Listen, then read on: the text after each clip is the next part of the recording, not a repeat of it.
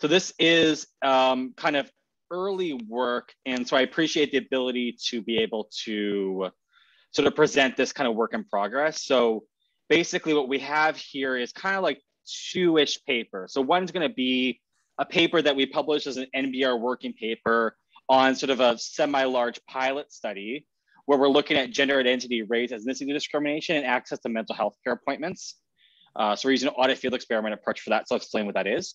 And then we had this quirk where we happened to have run that study unintentionally during COVID-19 because that was a exogenous event for us. And so we happen to have some interesting data that we can use to see how COVID-19 affects access to mental health care appointments.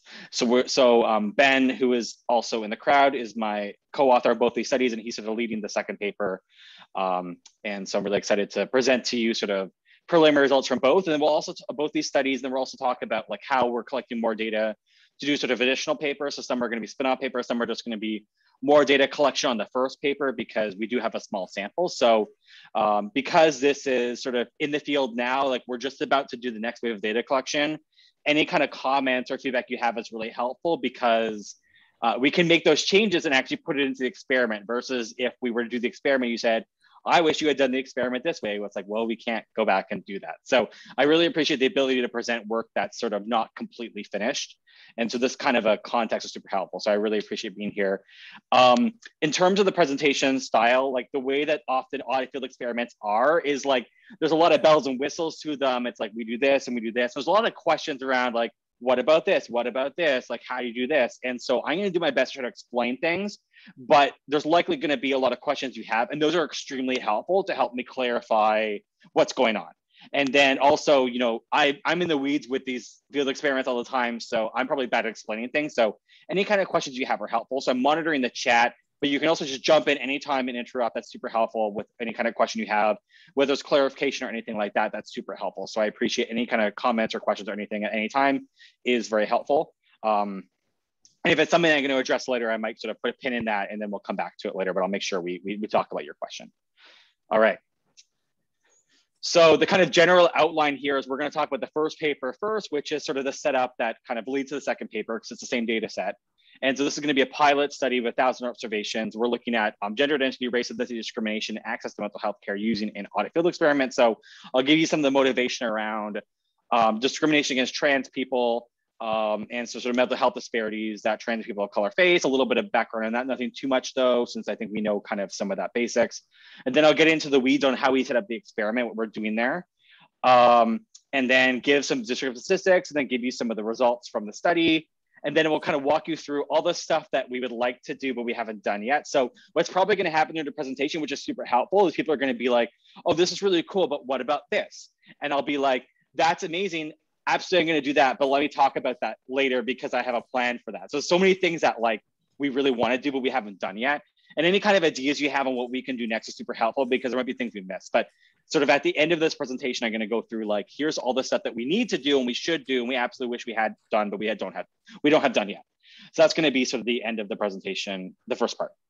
Um, and then the remaining time is going to be um, this very early results on this um, pen, uh, paper that Ben is leading, uh, Benjamin Harris leading on um, COVID-19, how it sort of moderates access to mental health care. Um, so we'll give a little brief introduction about sort of the context of COVID-19 and mental health care, but I don't think that's too Uh, needs too much focus because I think we kind of know some of the basics around that. And then we don't have to talk about the experimental design because we all already know it's the exact same experiment and we'll just go through some descriptive stats and some results and a little bit of next steps. And then throughout this, any kind of questions are helpful. And then Ben is gonna be in the chat and he's also sort of being very helpful to me today uh, with the slides and making sure, you know, like I had some like fear I was gonna like faint or something. I'm fine, I'm totally fine. But I was worried like, what if I can't present and then he could jump in or something or, you know, more, more so like the, the COVID paper is more his thing and so I'm probably going to get some question where I don't know the answer, And then he can jump in and kind of save me because he actually knows more about that paper than I do. So that's why he's the lead author on that paper. Um, yeah, so appreciate him being here. So feel free to uh, jump in with questions either in chat or or unmute yourself. Either way is awesome. I really appreciate it. And if I miss you, like maybe if you have your hand raised either virtually or in person, I miss you, I apologize. Um, but I'm doing my best to sort of take a look at everyone. So make sure that you're, you're, I'm able to answer your questions. All right.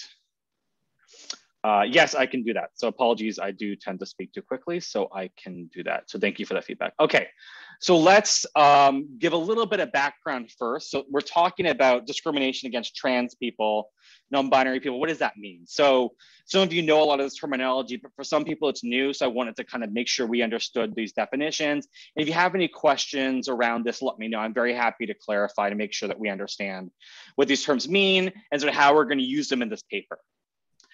Um, so, so there's the term transgender is a term that is a broad umbrella term that basically means someone who has a gender expression or gender identity that differs from the one differs from the sex classification they were assigned at birth. So it could be someone who's assigned male at birth or female at birth that has a gender expression it doesn't necessarily fit that. So it could be someone who's assigned female at birth identifies as male, or someone who's female at birth that identifies as non-binary, so neither male nor female, or a combination of that. So it's a very, very broad term. In the context of this paper, we're going to be looking at people that are transgender women or transgender men. So transgender women will be people that were assigned, typically assigned male at birth and identify as women. Then transgender men would be people that were assigned female at birth that identify as men. Um, and within transgender, because transgender is sort of a broad umbrella term, non-binary typically falls within transgender, but we focus in addition on non-binary people separately. So we also want to talk about who non-binary people are. And so non-binary is also a big spectrum of individuals and uh, sort of people that are not exclusively male or female in terms of their identity or expression. Um, so some falling somewhere um, in the middle is sort of people that are non-binary. And the term cisgender is just refers to people where their gender identity matches the sex they were assigned at birth. Um, so if you took any kind of chemistry, you know, cis and trans are kind of like, I feel like they're chemistry type terms. So, so some people say like, oh, cisgender is a slur, but it's very much like a, you know, chemistry term in my, in my point of view. But um, this is sort of some basic terminology. But if, if any of this terminology gets confusing or you want me to re-clarify or anything, please let me know. Um, but that's just some basics just to get us started. So we're looking at, uh, in the experiment, we're going to be comparing trans women, trans men, non-binary people, and cisgender people. Dr. Button, quick question. Yeah. Uh, yeah. Since the focus is going to be on transgender people, is it the whole group, including people who are pre transitioning and people who are post transitioning? Yeah, so good. Yeah, that's a really good question. So, so like you mentioned, there's going to be sort of a broad spectrum of like to what extent people have transitioned or transition at all. So some people, some people will transition surgically. Some people will transition with hormones or not some people will not will do neither both you know there's and people are on different kind of points in their particular journey and the journey is different for each person. Um, in this particular study we're not going to be able to look at that sort of heterogeneity within trans people in terms of where they are in that particular space. Um, what i'm going to show you is the way that we're going to kind of signal for trans or cis status is through people are going to be requesting appointments for therapy and they're going to sometimes slip in an extra sentence that says, I'm a transgender woman, I'm a transgender man, or I'm non binary, and I'm looking for a trans friendly therapist. So we are going to be sort of looking at sort of average differences. And so within that, there's a lot of heterogeneity that we're not going to capture, unfortunately. So it's not going to be a situation where the therapist knows where along the transition this person is. They're kind of going to make a sort of an average assessment of like, how are you know transgender people in general or make sort of assumptions about that so we're not able to get at that kind of heterogeneity but i think that would be interesting because you know discrimination access to care could vary for example when you're going through a transition versus after versus before and so that's not something that we can fully capture but i think that's really interesting so excuse me to kind of continue on this so you're saying we can't yeah. necessarily like because we could think of a situation where maybe the therapist is maybe biased against a transgender person because they know that they might be on some sort of hormone therapy which could make their emotions like a lot more intense or something. So yeah yeah absolutely. So yeah so we don't we don't know uh yeah so the way the study is currently constructed we don't know um to what extent that's going to be a moderator. So yeah it could be that the, the therapist is going to statistically discriminate against trans people because they might assume like okay depending on where you are in your transition like you said there could be different health concerns or you know people could act differently or the other things could be going on um, or that's just like a uh, more unstable transition, like major life transition, right? That maybe has more needs and more concerns. Um, so we can't we can't fully fully we fully quantify that. I think you know there's ways to do that, but what we're going to talk about later is we could try to signal where the person is in their transition, but I think there's some external validity concerns there. So, so we're not fully able to get at that, but that's something that I would love to kind of think a little bit more about, maybe discuss with you a little bit more. I think as that would be really interesting. Um, as you likely know, Marcella Alsan made her name by studying racial concordance. Um, yeah. And I wondered if you have any information on um, physician identity so that you yeah. would know if there's concordance there. Yeah, yeah, that, that that's a great point, Debbie. Yeah, might be a lot less discrimination that way. Yeah, that's so. I'm going to come back to that later. So I have a slide that's going to talk exactly about that. I think that's really important. Okay. So I'm going to put a pin in that. We're going to come back to that later if that's okay. Yeah, but absolutely, that's something we're going to look into. We don't have yet. Is a, is a quick answer, but I really appreciate that.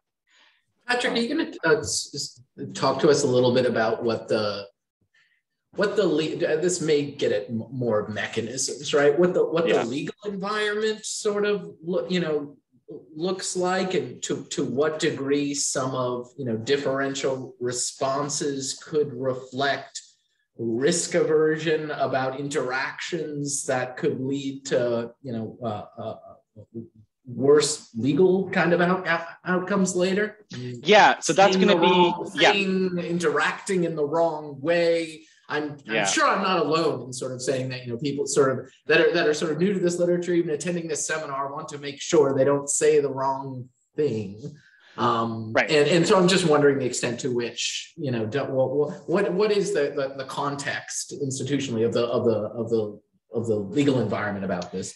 Yeah, so I don't have too much of that on here. I am going to in a later in later slides near the end of this, so the first half of this, kind of talk about how we're going to try to test for if discrimination is moderated by state level laws that deal with trans people. So some of the legal context is going to be that there's generally no like federal protections around discrimination based on gender identity you know, in federal law, but some states do have like discrimination, protections that include healthcare access and discrimination healthcare situations. But so some states have that have coverage and some states don't. So we're going to eventually use that to see, do we see more discrimination against trans people in states that um, you know, don't have these protections versus do. And then some states, as we know, have sort of anti-trans laws. It could be sort of a religious freedom law um, where um, people can, based on their religious beliefs, sort of deny services based on LGBT status, or it could be something like a bathroom bill that's not directly tied to, you know, discrimination against trans people and access to medical care, but could create sort of a cultural environment that's sort of less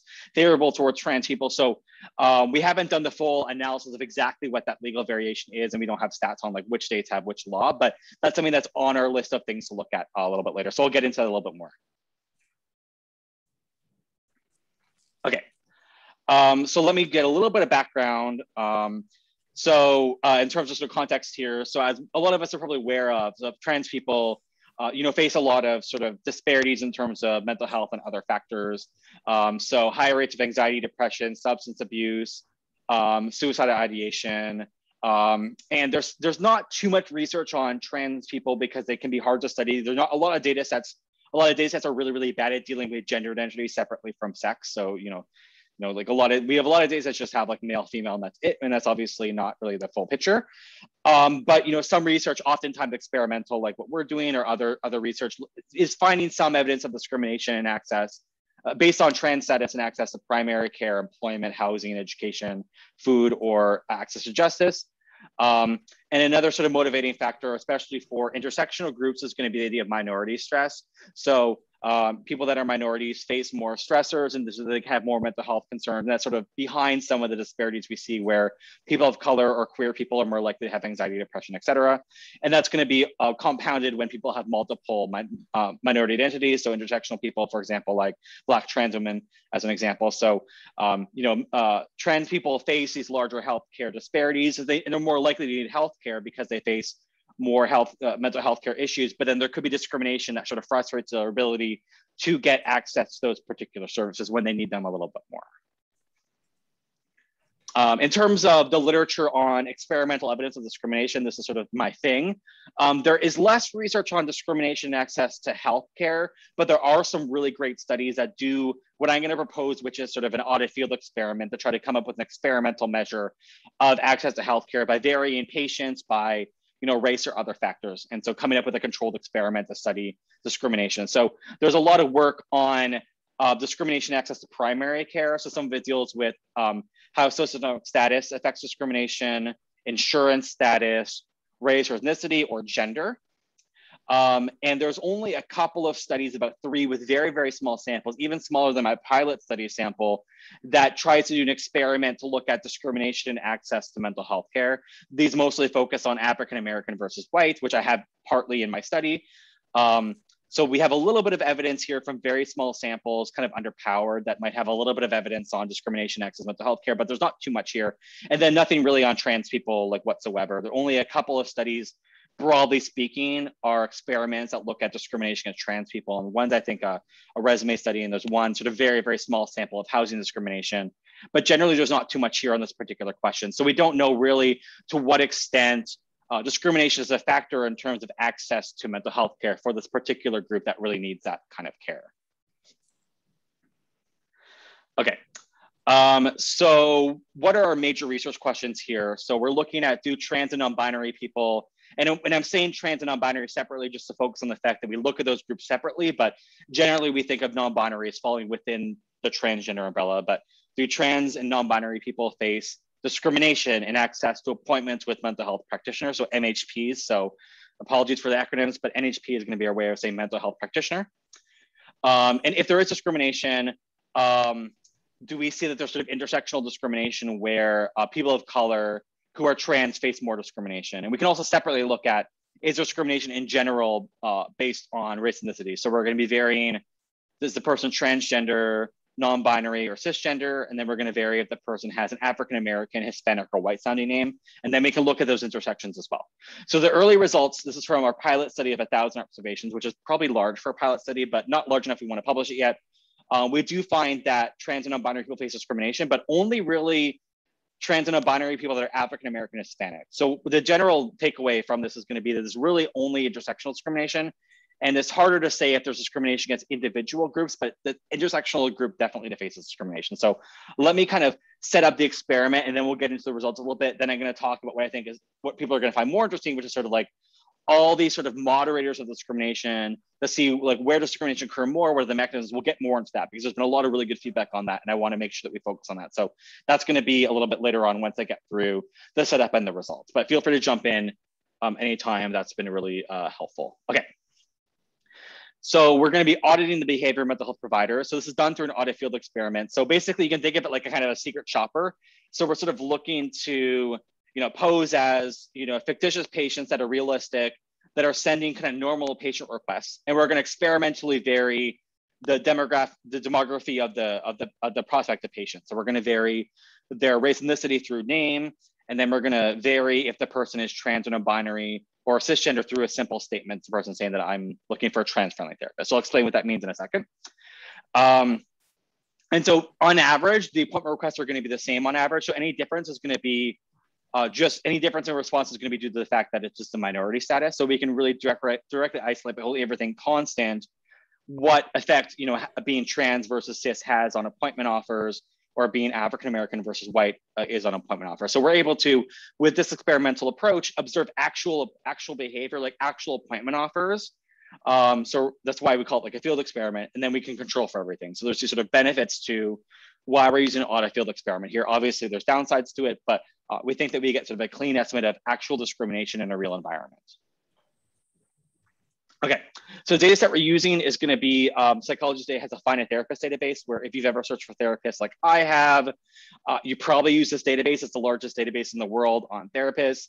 And uh, in the US, there's um, over a quarter of a million therapists on that website. It's a huge database. Only costs $30 a month to put your profile on there as a therapist. So you know, the cost is pretty low, but the benefits are quite large if you're looking for, uh, for looking for patients. So it's sort of the most uh, developed website. And I'll show you a screenshot of the website, but basically you can search for a lot of different criteria. Like you can look in particular areas for a therapist. You can search based on like specialty or gender of the therapist or you know what they focus on or things like that. So what kind of insurance they take, et cetera. So there's a lot of like search terms you can put in there. Uh, we're going to be sort of looking for therapists in general that work on common concerns that almost all therapists work on, which is going to be um, anxiety, depression, stress. So I'll mention that in a minute. But let's get into a little bit more on the. Oh, there's a question. Yeah, quick question. So yeah, for the 1,000 uh, MHPs, did you randomize the uh, races of your uh, who? I'm going to say actor here, but uh, yeah. Uh, was that randomized or was was each MHP tested for each race? Uh, right. Yeah, that's a great question. So currently, what we what we did in this pilot study is we only sent each of them one email. So we randomized 50% chance that, they get an email from a white person, 25% African American, 25% Hispanic. Yeah. In the future, we're probably going to send two emails. So we're going to do sort of a matched pair design where one's going to be white and one's going to be either African American or Hispanic, or we're just going to randomly select two different um, possibilities. But in this current results, we only send one email. Yeah. Okay. Thank you. Yeah. Thanks. Um, yeah. So so so we'll start with what the the MHPs look like in terms of the sample. Then I'll I'll get into sort of how we're creating these uh, prospective patients. Um, so we have a thousand mental health practitioners, and we roughly have a nationally representative sample. So we sample them roughly based on state population, and then we try to select. Um, we have the RA search by zip code, so they'll put in a zip code that they're assigned, and they'll search for therapists in that general area. Oftentimes, they won't have that many therapists in that particular zip code if it's sort of smaller. So you know they'll get results for near like further away, but that's that's totally that's totally fine. So we're kind of mimicking sort of a localized search. And so we're generally sampling the zip codes with respect to population. Uh, so we have a nationally representative sample, and then I can later on, you know, reweight if we have some slight imbalances, because there's always an intent to have a balanced sample, and then you over under sample unintentionally. And so we can also in later robustness checks do some reweighting there. Uh, but the but the sample is going to be nationally representative, and we think that's really important because um, you know, we want to sort of have a population representative estimate of discrimination, but then also, as a lot of you have sort of mentioned, there's sort of these factors that can moderate discrimination. And as I've discussed with a lot of you in meetings, there's all these factors that are sort of regional that could sort of affect discrimination. So as, as Joe said, it could be state level discrimination laws, or we could think of, you know, LGBTQ or race, uh, attitudes around race or LGBTQ people could vary by region or socioeconomic status or education levels. And those are all factors that could, er, or demographics, and those things could matter. So I'll talk later about how we're going to leverage that geographic variation to see if those moderate discrimination. But that was one of the reasons why we wanted to make sure that we had a national sample so that we could get that variation while also getting a population representative sample. Can I ask, an, sorry to sound like an IRB person, I'm just curious, do they do, are, are there any, in, in this sort of online market, are, are, are there any obviously sort of no mechanisms to to to to to verify the existence kind of of the of the potential patient. What sort of safety protections are sort of in there about these uh, uh, about the kind of matching going on? I know this has been an issue for the you know on, on online portals for sort of child care and the in the conducting of these kinds of studies that have started limiting the ability mm. to put up fake profiles and things like that. So so what's the what's the what's the status of this site um, to today, and what kind of yeah, that's a good question. So I think on the therapist side, in, in terms of putting their ad on there, um, I, I if I, we haven't like tried to make our own profile on there, but I think we looked at the process, and I think there's a lot of paper, a decent amount of paperwork to fill out where you often have to have a license, and you have to you know be able to prove you have a license before you can make a profile. I believe all the profiles on there mention some kind of a license um, that they have. Um, obviously, you know, that could be spoofed. I don't know the context of childcare, uh, but I think generally the people that are, you know, posing as therapists on there are, are legitimate. These are people that have practices that have been practicing for a long time. They mention specific degrees. So I don't think there's too much concern about that, but maybe it's relevant in a couple of cases. So we'll have to look into it.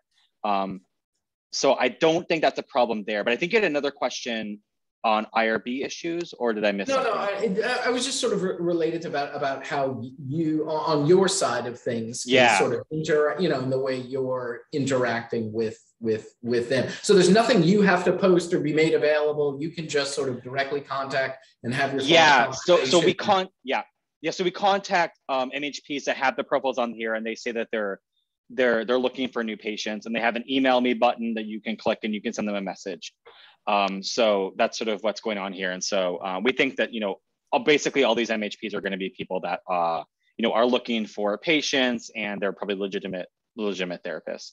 Oh, and as Ben mentioned, there's a sort of a verified condition that I guess sort of the, the blue check mark, so to speak, that you can get probably by submitting extra paperwork. uh, we could even see if that affects the results. But we think this is a pretty legit sample of, of therapists. And so I'm going to go through kind of how we send the messages and things like that. So any kind of questions clarifying like that are really helpful. So um, so in terms of our, we have sort of exclusion restriction because what we're looking for is therapists, MHPs that deal with sort of common concerns. So we're going to be in this uh, study focusing on people who have anxiety, depression, or stress, which are very, very common mental health concerns. We're not looking for therapists based on if they like specialize in trans issues or not. We're looking at sort of discrimination and access to sort of common, men, common but important mental health care. So our exclusion criteria slash inclusion criteria are that the the MHP can't specialize exclusively in say children or couples therapy or grief or something very specialized. They have to be able to accommodate um, these sort of general issues. Um, we're looking at um, sending messages to individuals rather than some kind of an office.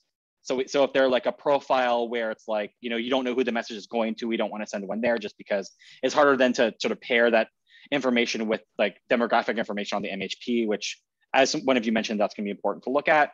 Um, and they have to provide an option to contact them through a web form. So most of the profiles have a little button you can click that says, you know, email me. And then, so we're going to be contacting them through that web form where we type in basically our email through web form. Um, and they have to be accepting patients. So we don't want to message people that are, indicate that they're not currently accepting patients. It's very easy to know if they're not because they can on their profile at the top put a little flag up there that says, I'm currently not accepting patients. And if you were to click on email me to them, at the top it would say, I'm currently not accepting patients. So you got you got reminded twice that they're not currently accepting patients. So we don't email any of those people.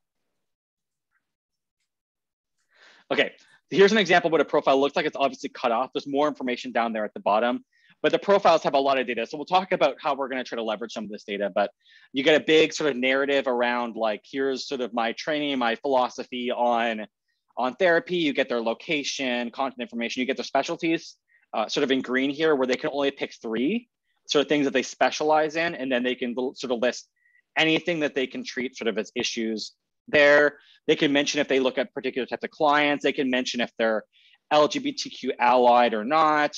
Um, they can mention what kind of insurance status they, they take. They can mention their degrees. So there's a lot of information here. So later on, um, I'll kind of explain how we're planning to use this data. We, we currently, in this iteration of the draft, don't use too much data on the therapists themselves, but we have a lot of plans for how we're going to use this data because it's quite detailed. But this is sort of how uh, the profile looks for a particular therapist. So they're all kind of of this nature and have a lot of this sort of data. And you can see that email me button, and that's what the research assistant is going to click to then um, uh, type into the web form to send an email to them.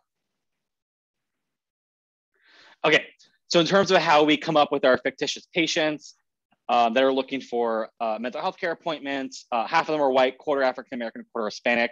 I'll get into how I use names to signal that. And then independently from that, we randomize whether the person is trans or non-binary. So a quarter of them are going to be trans, a quarter are going to be non-binary, then half of them are going to be cisgender. And then within that, it's either 50% male, female. Um, so we have 100 fictitious patients, and each of them send 10 emails to therapists in their area. So um, they send sort of 10 emails. Um, and so that gives us 100 patients times 10 emails, 1,000 MHPs, 1,000 observations. And it's sort of a nationally representative uh, sample.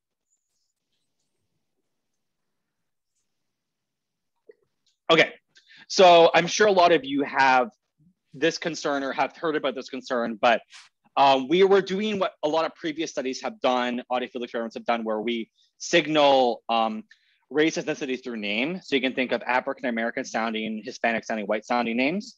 Uh, there's a common critique of that in which is sort of like name selected isn't sort of random. Um, you know, there can be the name might also signal socioeconomic status, right? So it could be that, for example, maybe African American names are more commonly used by certain types of African American families.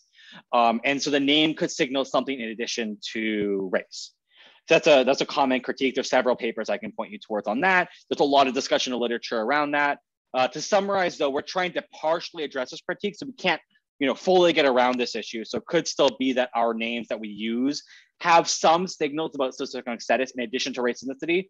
But one thing that we do is we leverage some recent research by economist sociologists where they actually tried to figure out if there was any associations between certain first names and parental, um, uh, paternal or mother mother's maternal education. So they have the education level of the mom and they can see how that relates to certain names by race ethnicity.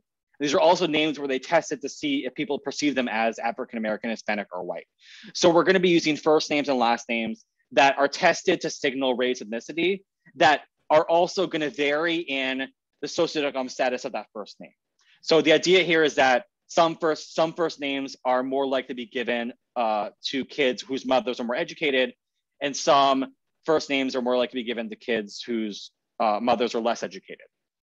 So we can try to vary the SES signal through the name. Obviously, this is going to be noisy, but it's our way to try to pick names that sort of have more variance in terms of S, possible SES signals to try to better control for, but imperfectly control for this concern about uh, to what extent African American Hispanic names might signal socioeconomic status. So as an example of some of the names we use, um, the names on the left in these uh, these uh, boxes are going to be ones that are associated with a higher maternal uh, education. And then the, the name on the right is going to be one that is lower maternal education. Um, so these are just some examples. So for example, Darius versus Deshaun. And so we're going to be using um, first and last names that are for, for African Americans are going to be an African American first name and an African American last name. And then uh, same thing for Hispanic people and for white people. So we're going to be signaling through first and last name, but from the research, it indicates that most of the signal comes from the first name is going to be the primary way that uh, that race is going to be signaled is through that first name. Okay. Um, very important thing. How do we signal gender identity? So that's something that is like you know you know tricky subject because it's not like you know we want to we want to kind of do this in a way that's externally valid. So we don't want it to be like, hey, I'm trans, you know, out of nowhere would be a little bit weird, right? Um, so what we want to do is sort of signal in a way that's sort of natural where it would normally be mentioned in sort of a way that we think is externally valid. So, you know, as a queer person, like I searched for therapy myself. And so I think I, even before I was doing this study, I wrote up a more detailed version of the emails we're sending. You know, I mentioned like, hey, I'm an academic who burns out all the time and I have bad like work-life balance and I need to learn how to say no, da, da, da, da, da. By the way, I'm gay and I'm looking for someone who's gay friendly. You know, I didn't have any like you know queer specific concerns that I needed for my therapist. But I you know I mentioned that that I was gay because I wanted to make sure that like they weren't gonna like discriminate against me or they were like chill about it, right? Because you want to have a therapist who's sort of affirming of your sexual orientation and gender identity. And so I have a therapist who's a straight guy and he's awesome. So yay. Um, so what we're doing here is basically the way that we signal gender identity is by adding one additional sentence to the email um, appointment request email. So we'll show you what the example email looks like. We're just adding one more sentence to it where it's going to say, I'm a transgender woman or transgender man or non binary, and I'm looking for a trans friendly therapist. Um, so we think that that's going to be a common way to signal that that's more externally valid. So obviously there's a question of if you signal or not, but what we think is um, we think that there's sort of this um, um, there's some research or some you know articles that talk about like if you're a queer person, you might want to make sure that your your your healthcare practitioner is someone who is sort of you know LGBTQ affirming. So there's other sort of websites that mention that if you're a queer person, you might want to mention this in your appointment request just to make sure that you know you're not discriminated against. And I've done it myself. So we think there's anecdotal evidence that suggests that it's not too unusual to mention this sort of a thing. So we don't think it's going to be too unusual of a signal because there's always concerns with these kind of audit studies that signal something that's not like a visible minority status, like maybe it's disability, where you could kind of choose if you want to disclose it or not. And you would probably not disclose it if you think you're going to face discrimination. We think this is the context where it would often be disclosed because it's relevant. Uh, but our goal here is to look at discrimination and access to general mental health care appointments. So, you know, general anxiety, general stress, general depression, and so the only mention of transness is going to be through the sentence. And so we're trying not to signal that, that the person has a trans specific concern. Okay. All right, so this is sort of our kind of like way that, you know, we kind of construct our messages. So this is what it's going to look like if we were to like make it into like a puzzle or something where we can slot everything in. I'll show you an example message shortly. Uh, so basically it's going to be a simple kind of like hi, my name is insert name that signals race slash gender slash ethnicity. I'm contacting you because I'm dealing with stress or depression or anxiety, and I'd like to talk to a therapist. And then if they're trans or non-binary, then we add an extra sentence where I'm non-binary and looking for a trans-friendly therapist. If they're cisgender, there's no mention of that at all, because it would weird be weird for the person to say like I'm cisgender. Um, so just the people that don't have that included are sort of presumed to be cisgender. Um, and then there's a sentence where there's an appointment request like, uh, are you available for appointments? Can I set up an appointment? And then thanks and then name. So it's pretty small, short message, which I, I talked to some therapists and they sort of mentioned that the, the emails they get tend to be pretty short like this. Uh, so this is an example. So you can see where Ben was nice has to highlight the spots here where we add in sort of a particular randomized element. So, um, so we have the name in there. We have anxiety versus depression versus stress. Then we have the extra sentence for trans and non-binary people. Um, and then we also vary sort of the phrasing. So on average, all these email requests are going to be the same, except we're going to vary those factors experimentally. So Patrick, I have a quick question. So yeah. how prevalent are uh, therapists who focus just on trans issues? So what I'm getting at is, you know, if you get, uh, if you don't get a call back, is it because they think you're a better match with other therapists that are around or yeah. um, is it discrimination? Yeah that's a really good point. So relatively few therapists specialize in lgbtq issues. At some point we're going to mine the data that's available on the website to see like what proportion mention you know being you know lgbtq allies how many mention a specialty in that how many mention that they're you know interested in that kind of you know community. So i don't have the stats on it but it's going to be a smaller version a smaller part of the entire sample. There is a separate concern about like this is something that i'll get to a little bit later i think it where like you know there there's the therapist could be you know seeing that like sentence like i'm looking for something trans friendly and kind of think oh this person has like trans specific concerns or this person would benefit more from a trans specialist. So one possible reaction could that is reactions could be to like uh, give them a referral to someone who's trans specialist. I'll talk a little bit about that later because there's going to be some sort of uh, possible um, responses that are sort of ambiguous as in terms of they could be good or bad. And so I'll kind of talk about how we deal with that uh, in, in, a bit, but that's a really good point.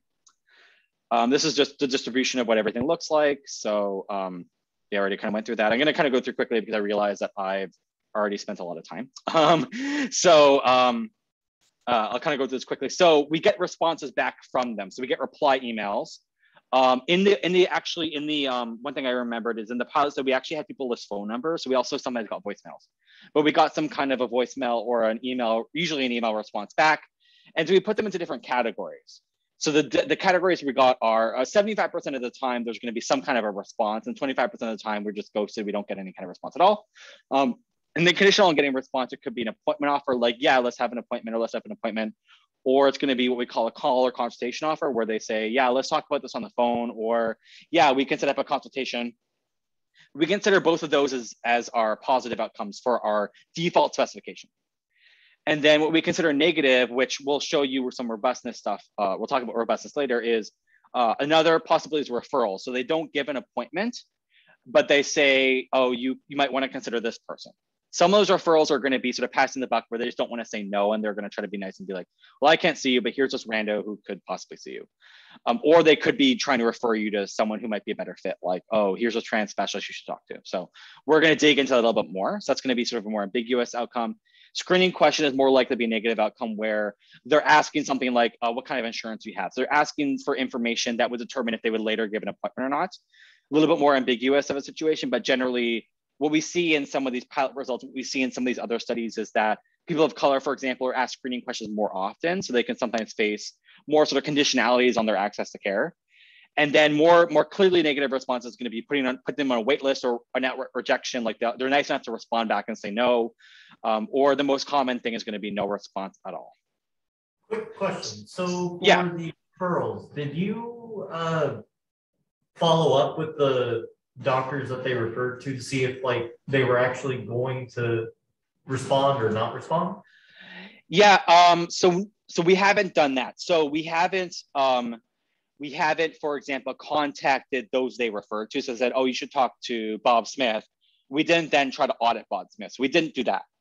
Um, but we do know who they referred us to. And in future data analysis, we're going to try to see if we can learn more about like are these good or bad referrals? And there's different ways we can try to look at that. But but we don't have any intention of auditing who they uh, who they um, refer us to. I don't I, I had to think more about that but i'm inclined to not to not do that. But that's not what we currently do anyways. But i'll think more about that. That's a good point. Uh, so here's quickly sort of the distribution of the data. So uh, roughly three quarters, 56.6% uh, of the time we get a positive response, so an appointment or a call or consultation offer. And these are sort of the breakdown of the category. So most of the negative responses are gonna just be no response at all. But we get a couple of cases of being like waitlisted or outright rejected. Um, but most of it's gonna be a decently clear appointment consultation offer versus no response is gonna be most of where the variation is here. I'm not going to go through all this, but this is what the you know the basic summary statistics look like by group and by type of response.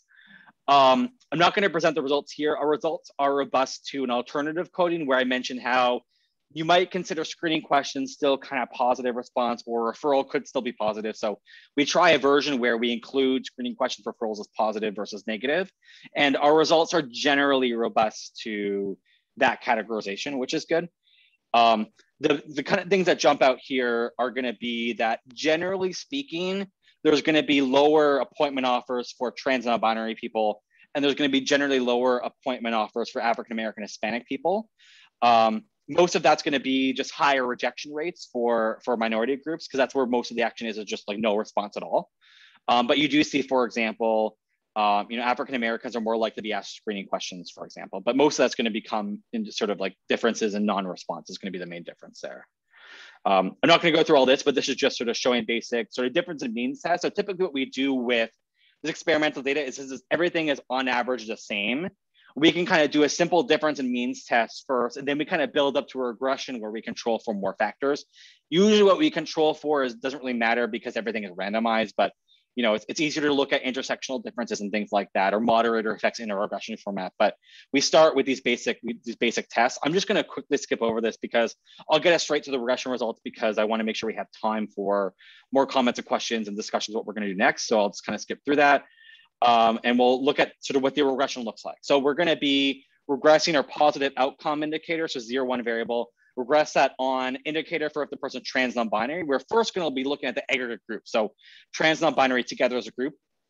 Uh, then uh, indicator for African American or Hispanic, and then seeing if response rates differ for those with depression and anxiety. We're not going to focus on that. And then we're going to include some state and time fixed effects. And um, right now we don't have too many control variables. Like for example, in later analysis, we're going to add in, you know, control variables around the um, information on the therapists themselves. Uh, we're going to cluster our standards the patient level since each patient sends 10 messages. Um, and then we'll show you results after this first specification where we look intersectionality. So currently this regression is just going to look at how does trans differ from cis and how does African American differ from white, but obviously intersectional discrimination, that's where, where we're going to see the results. And so in the next couple of slides, I'll get into that. But we'll start with the basics first, where we don't look at intersectionality, and then we'll add that in in column two. So column one is going to be our base specification. And so what we see from the base specification is we have statistically significantly lower um, appointment offer rates for African American and Hispanic prospective patients. So the mean um, positive response rate for cisgender white people, which is sort of the reference group here, is going to be 61.5%. So if you're African American and we're looking at column one, your response rate is 13.3 percentage points lower response rate. So just under 50%, like 48% or so. So that's a, a pretty big difference uh, in terms of the response rate. But what we see is that these results are extremely moderated by intersectionality. So um, what we see when we sort of break these results into these intersectional groups is that what's actually interesting is we don't find in the in the first results, we don't really find much of a difference between trans, non-binary, and cisgender. So in column one, we see a very small estimate that is not significant at all. Given the standard error is a little bit big, but we, the magnitude of that coefficient is quite small. So we don't see any sort of difference in terms of response rates between trans people and cisgender people in general. But once we look at trans people by race, that's, that's where we see these sort of effects. So what we're seeing actually, which is a little bit perplexing to us, is we're seeing some evidence of and actually maybe a higher response rate for white trans people compared to white cis people. But then we see uh, lower response rates for trans people of color. Um, and then, so we break this down here. What we tend to see is that the discrimination tends to be concentrated in people of color, particularly people of color who are trans non-binary. Uh, so that's what we're seeing in these, these particular results right now. Um, so generally speaking, I'm not going to go through all the robustness checks, all the specifications, but the general takeaway from these results is going to be that conclusion that the discrimination is intersectional, mostly against trans, non-binary people of color. That's going to be a fairly robust conclusion, but we're going to have we're going to be a little more inconclusive on if there's going to be racial ethnic discrimination in general. So for example, do cis people who are African American Hispanic face discrimination? We have noisy estimates there. And it's hard to say if there's a, we don't really have strong evidence of discrimination against um, white trans non-binary people. There's maybe a little bit of evidence of some preference, but that's really weak evidence there. So the mainly sort of robust evidence, the big takeaway is gonna be that there is discrimination that seems significant about the, against this intersectional group.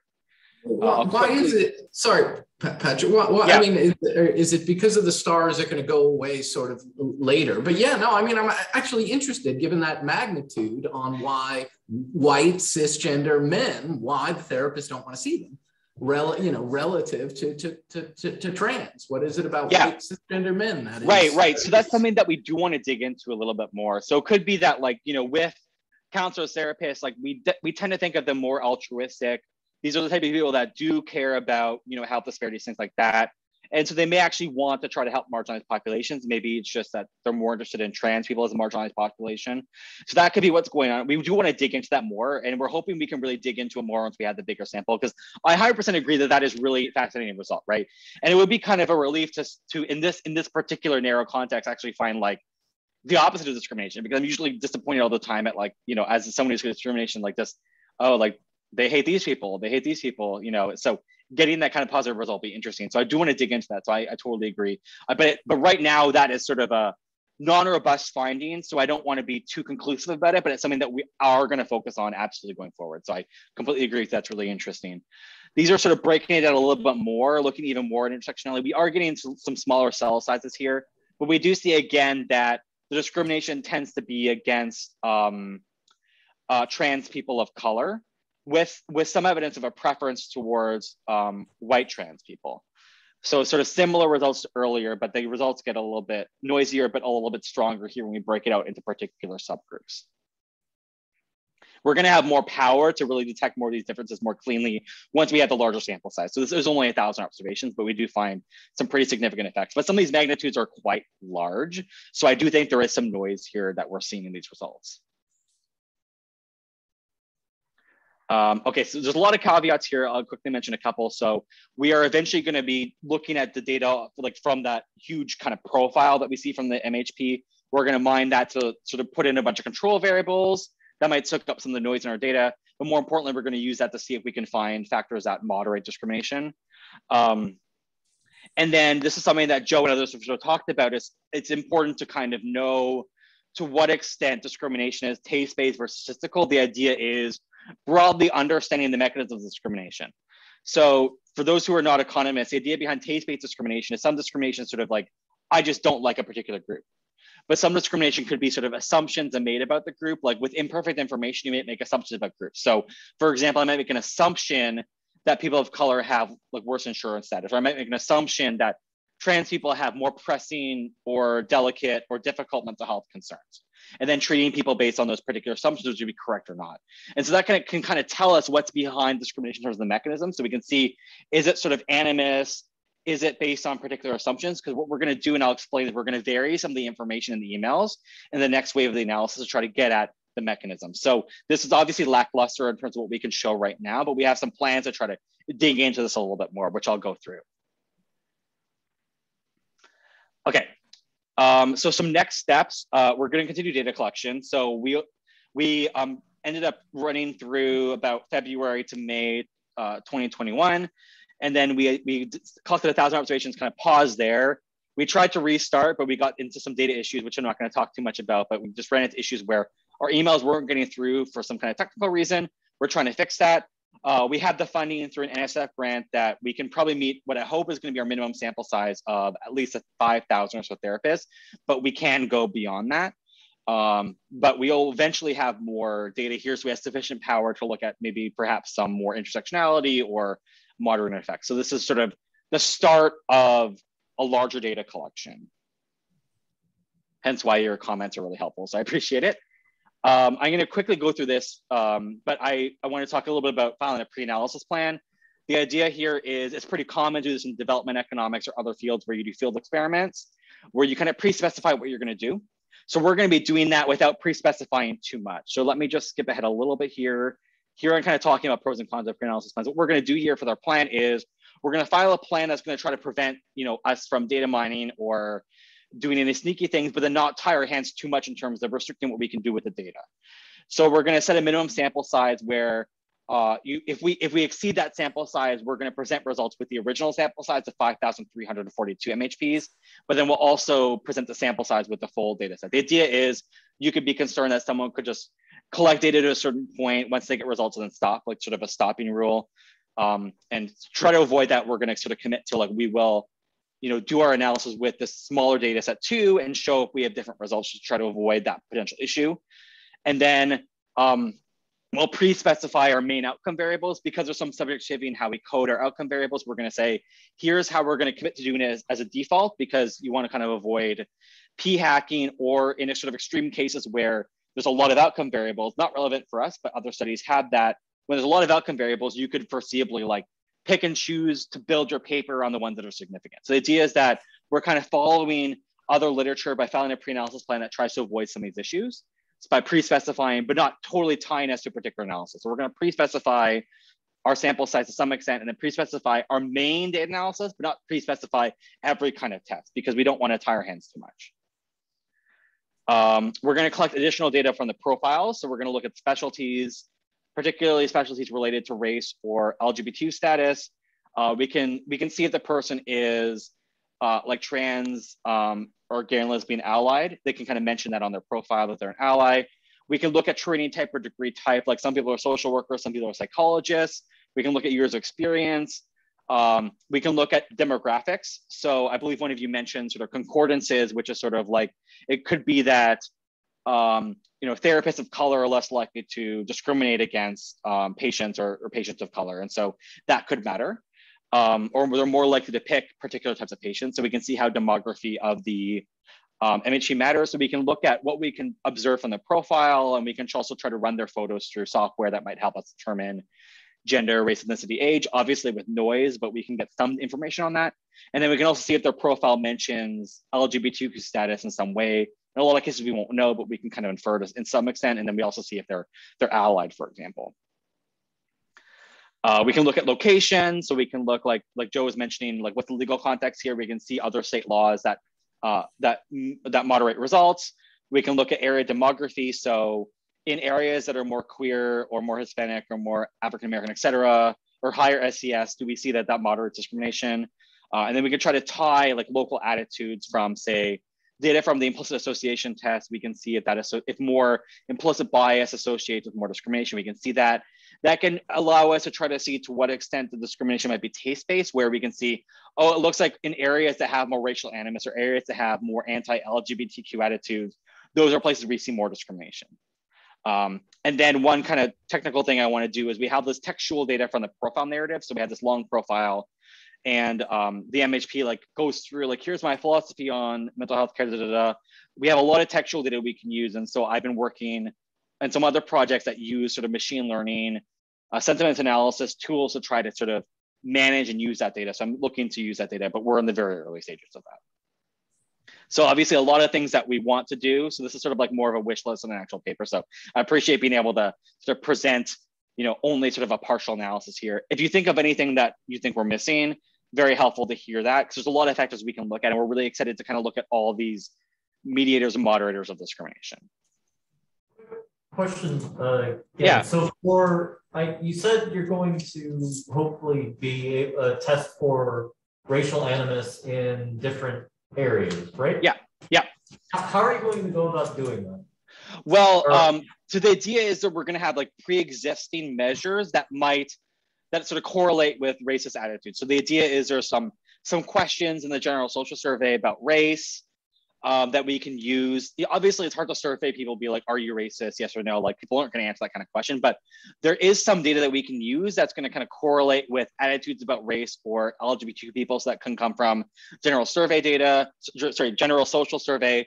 There's possibility of getting like tweets and sort of uh, matching those to areas to see like are there more racist, homophobic tweets in particular areas and or transphobic tweets in certain areas? Does that correlate with discrimination against trans people? And then um, there's data from the implicit association test, which is a test you can take online, where they have um, IAT, implicit association test scores by, I think, county.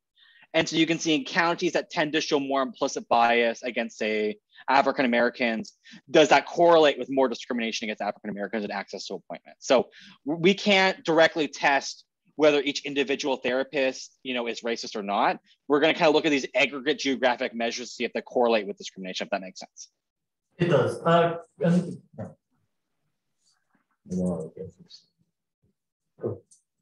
Okay. Um, and so the next thing we're going to do is add an insurance status. So we don't have any mention of like payment method.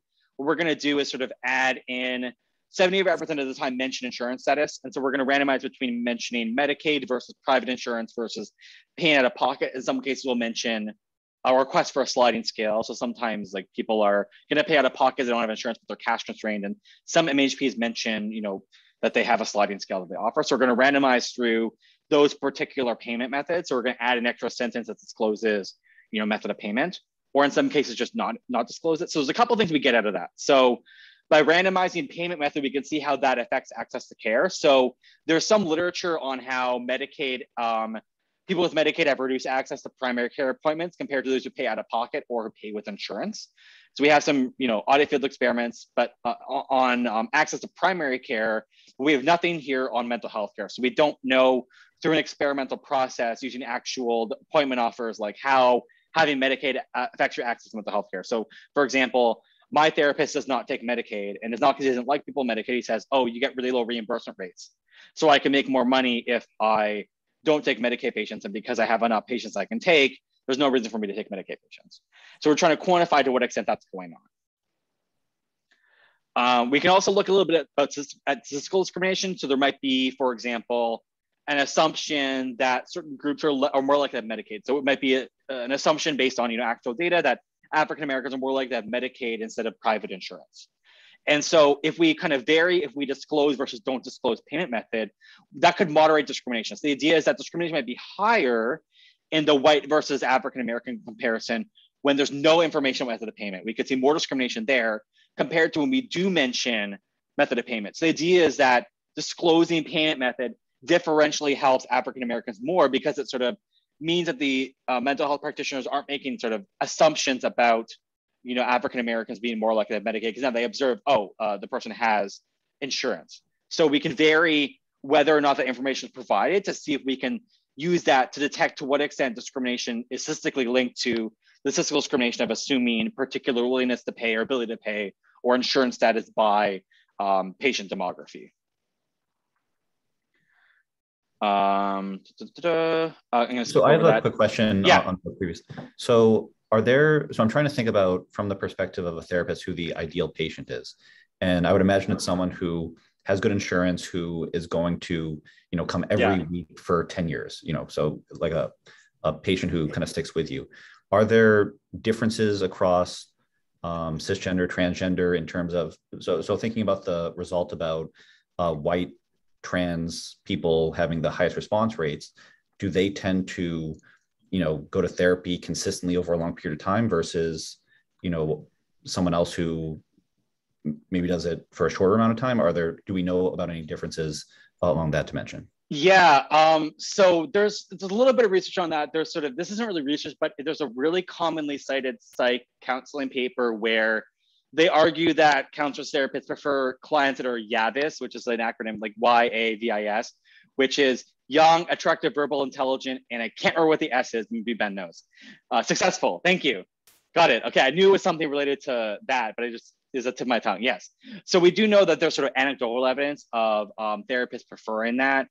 Um, we have to dig into a little bit more if there's more evidence on that. But when I did a quick literature review, I didn't I didn't find too much on exactly what therapists prefer.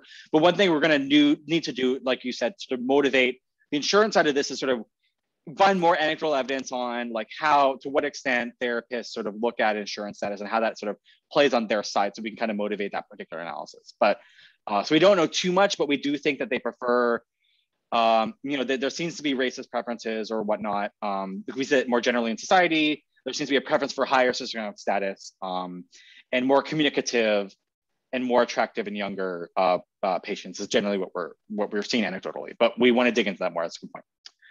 Uh, really quickly, we're planning to also include Chinese names in our next round. Uh, easy to motivate this by the fact that that's a group that's obviously understudied, but it's an important part of society. And there's been an increase in discrimination against um, Asian Americans um, due to COVID-19, unfortunately. Um, okay, so I know I'm running out of time here. So this is gonna be really quick, but luckily this is a shorter version of the paper because we don't have too much on here, but I apologize I didn't leave enough time for Ben's part here. But I do appreciate all the comments I've gotten so far. So this is uh, Ben signal lead on this paper. Uh, we're basically looking at the existing experiment happened to have been run during COVID. So the idea here is our, our data set's gonna span February to May of 2020. So we overlap with the initial onset of the paper. So story here is how does the initial onset of COVID-19 affect access to mental health care appointments? So it's not going to, uh, we wish we were able to collect data through all the entire pandemic, but that was difficult given everything else going on. And then we got hit by some other exogenous thing that made it difficult to collect data. So this is just going to be looking at initial onset. So from February to May of 2020. Um, so don't have to motivate this too much, but obviously COVID-19 was a big event and especially had big impacts on mental health. So it could, you know, exacerbated depression, et cetera. Um, and then, you know, led a lot of people to have to do telehealth or um, and whatnot, or people losing jobs. There's sort of a lot of things going on that could affect um, demand for appointments. So in some ways, demands could rise because there's more mental health concerns. Demand for appointments could fall because people are losing health insurance or they're otherwise distracted or they lose income. On the supplier side with mental health uh, practitioners, there, there's likely to be a reduced supply because you know people are facing these challenges and they can't offer therapy in person. There's maybe less demand for that, and everyone's facing these challenges, so it's harder to offer your services. Um, so what we're trying to do is see generally how um, the uh, intensity of the COVID-19 pandemic associates with access to mental health care appointments.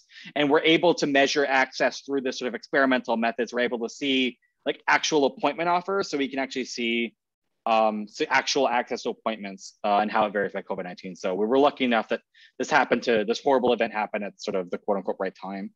Um, and so let me skip some of that motivation. Um, let's get into some of the results here. So the preliminary results are gonna be that um, if COVID-19 is more intense, that tends to lead to re reduced access and appointments, which I don't think is too surprising, but it's important to quantify. And it seems like it's a pretty moderate effect.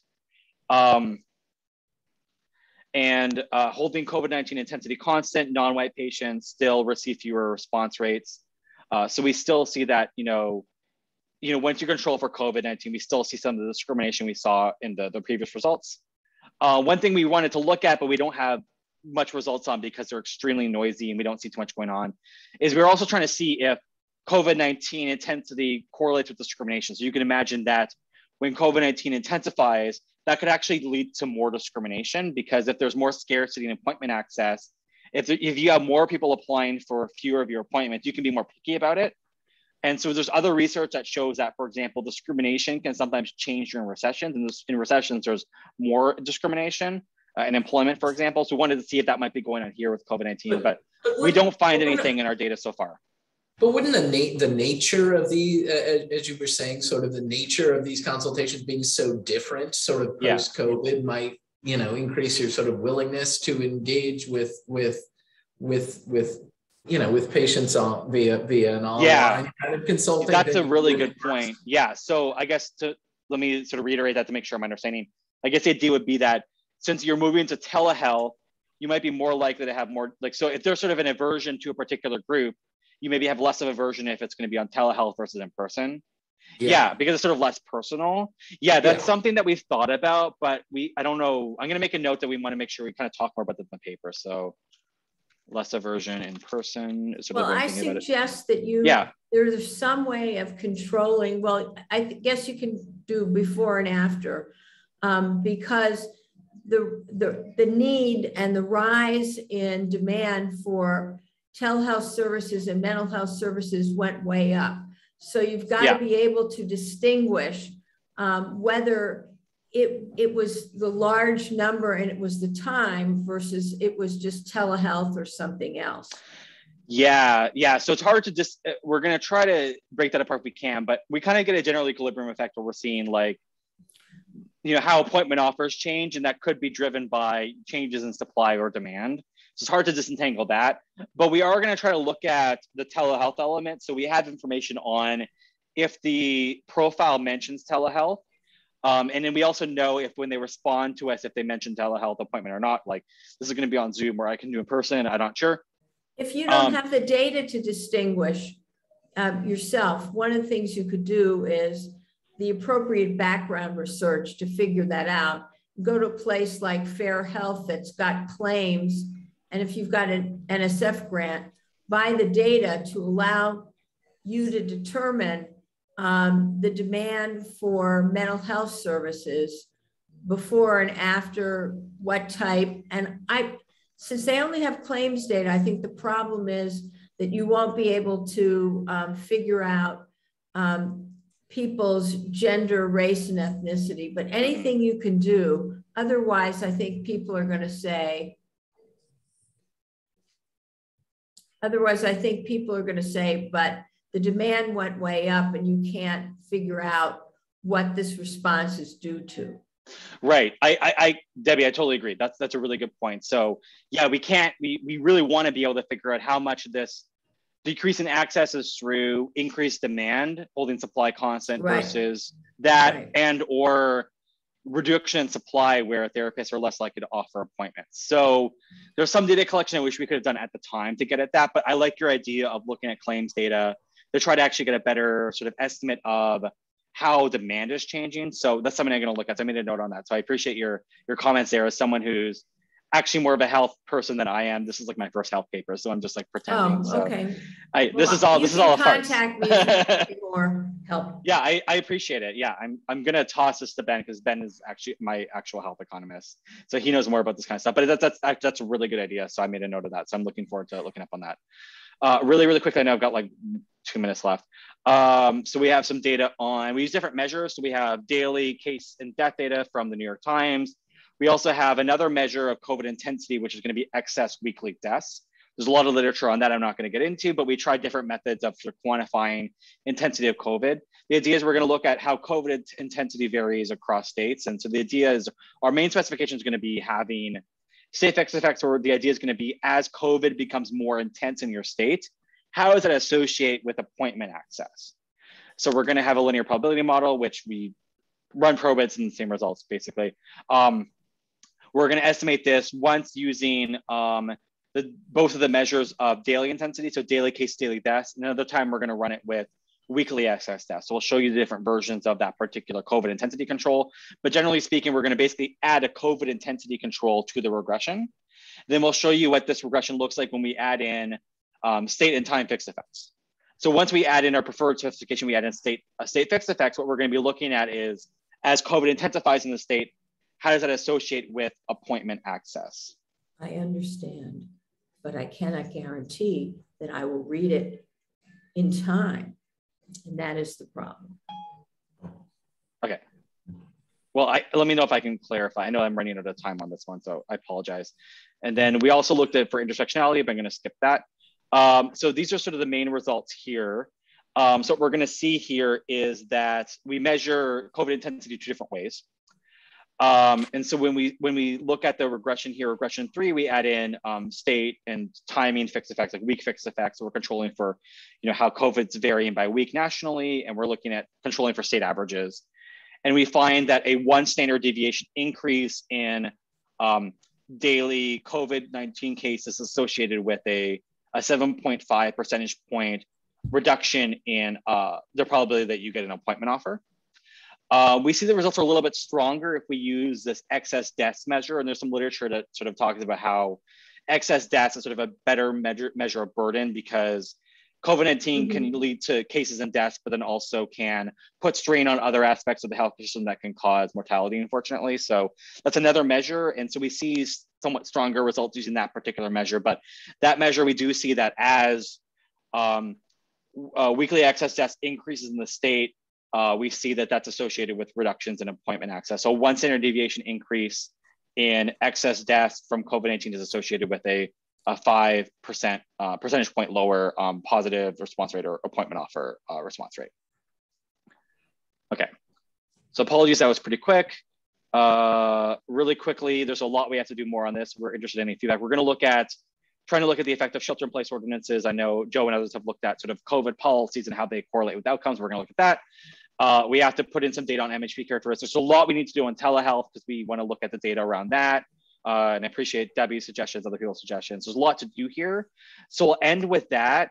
Um, super appreciate any kind of comments, questions. That's very helpful as we can make adjustments before we put into this, into the field again. And I am sort of a newbie to health research, so um, there's things that definitely missed. So I appreciate any kind of comments there. Um, I have time if anyone wants to hang here and like ask me questions or if I can help with anything. Uh, I really, you know, really appreciate that. But you know, obviously you've been here for a long time, and I appreciate your attention. So um, you know, don't don't feel like you have to stay around, but I am available if anyone wants to, you know, quote unquote, come up to the presenter after the talk, sort of a thing. And so thank you so much for, you know, being supportive and being uh, allowing me to present virtually. I really appreciate the accommodations and uh, thanks so much for all of your helpful questions and comments. Thanks so much, Patrick. Really appreciate it. Any sort of final uh, questions from the audience before we all right, then everyone have a, a very happy Thanksgiving next week. Uh, we'll return for our final seminar the week after Thanksgiving, where uh, Bree Lang will be joining us from the University of California, uh, Riverside, to present a paper in uh, the economics of education. So I look forward to seeing you at our at our final talk. Enjoy your your your, your church